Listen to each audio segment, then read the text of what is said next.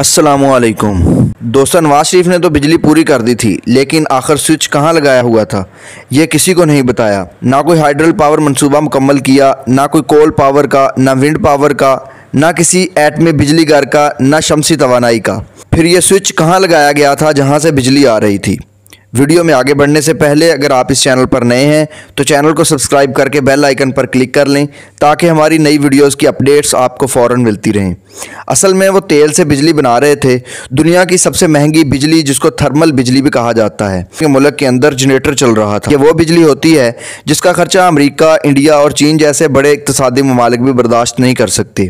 वो भी अपनी आधी से जायद बिजली कोयले और बकाया पानी से बनाते हैं। पाकिस्तान में थर्मल पावर प्रोजेक्ट्स या सादा लफ्ज़ों में जनरेटर नब्बे की दहाई में बेनजीर साहबा ने इंस्टॉल करवाए और पाकिस्तान की तबाही की बुनियाद रखी। इन जनरेटर्स की कुल पैदावार सलाहियत इक्कीस हज़ार मेगावाट है। ये सारे निजी कंपनियों की मलकियत है। इंतहाई महँगे होने की वजह से देगर हुकूमतों ने इनसे कम ही बिजली बनाई। लेकिन इसके बावजूद 2013 तक पाकिस्तान थर्मल बिजली के ज़मन में 480 अरब रुपए का मकरूज़ हो चुका था। 2013 में नवाज़ शरीफ आया और आते ही इन निजी कंपनियों को यकमश चार सौ अस्सी अरब रुपए की अदायगी करके कौमी ख़जाना ख़तरनाक हद तक खाली कर दिया। दिलचस्प बात यह है कि ये जनरेटर्स यानी कि आई पी पी ज़्यादातर मियाँ मंशा की मलकियत हैं, जिनको नवाज़ शरीफ का फ्रंट मैन भी कहा जाता है। लिहाजा बहुत से लोगों को यकीन है, दर हकीकत तेल से बिजली बनाने वाली ये कंपनियाँ नवाज़ शरीफ की ही हैं, और ख़जाना खाली करवा के नवाज़ शरीफ ने खुद अपने पैसे ही वसूल किए हैं। इन पाकिस्तानी आई पी पीज़ की नुमाया खूबी यह है कि दुनिया भर में जहाँ जहाँ भी थर्मल बिजली बनाई बनाई जाती है, ये इन सबसे महँगी हैं। तकरीबन दुगनी कीमत पर बिजली बनाते हैं। अभी मज़ीद आगे सुनिए, जो 480 अरब रुपए नवाज़ शरीफ ने आई पी पीज़ को अदा किए, इनमें कोई भी बड़ा डैम बनाया जा सकता था, जो पाकिस्तान को हमेशा के लिए मोहताजी से निजात दिला देता और सबसे बढ़कर पानी की ज़रूरत को भी पूरी करता। 480 अरब रुपए की अदायगी के बाद इनका कर्जा सिफर हो गया।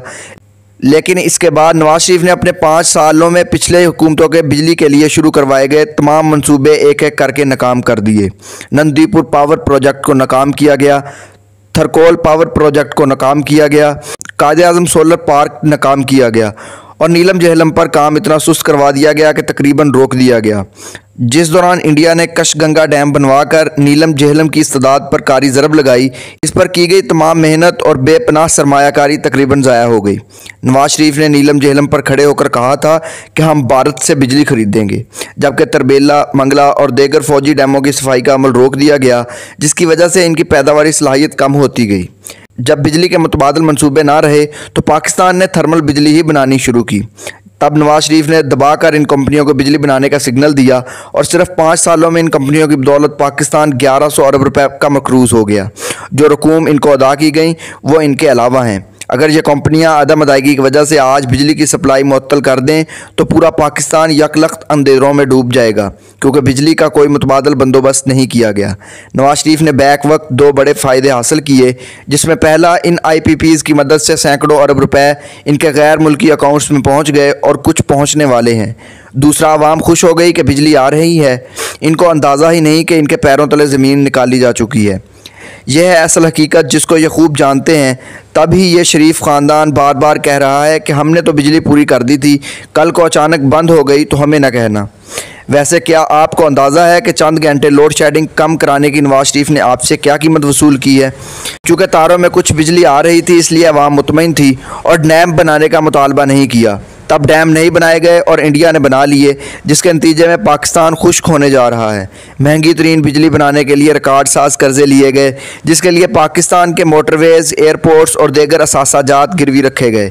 महँगी बिजली के कारखानों की पैदावार लागत इतनी बढ़ा दी गई कि पाकिस्तान की अक्सर सनतें बंद हो गई।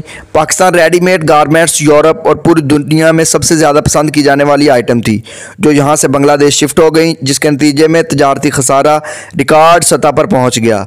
बरामद कम तरीन हो गई, बेरोज़गारी और महँगाई तबाह कन सतह पर पहुँच गई। चूँकि पाकिस्तान की पूरी बिजली निजी कंपनियों के हाथों में जा चुकी है, इसलिए जंग या किसी बड़ी एमरजेंसी की सूरत में यह गैर मुल्की कंपनियाँ बिजली की पैदावार रोक कर पाकिस्तान को ख़तरनाक हालात से दो चार कर सकती हैं।